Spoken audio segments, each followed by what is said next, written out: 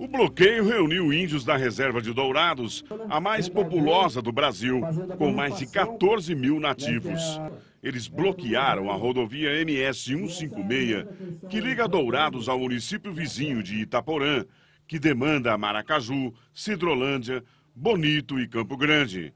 Os índios de Dourados estão revoltados com a PEC 215, que tramita no Congresso Nacional.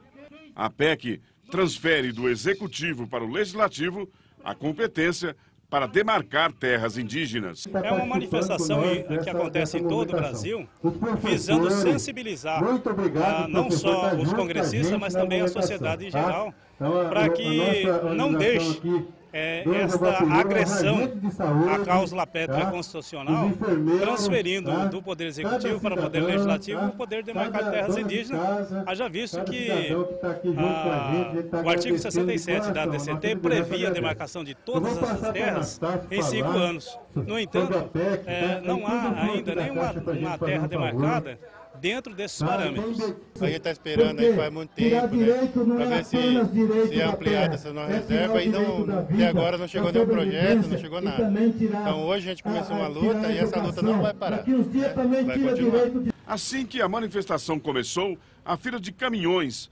rapidamente se formou próximo à rotatória.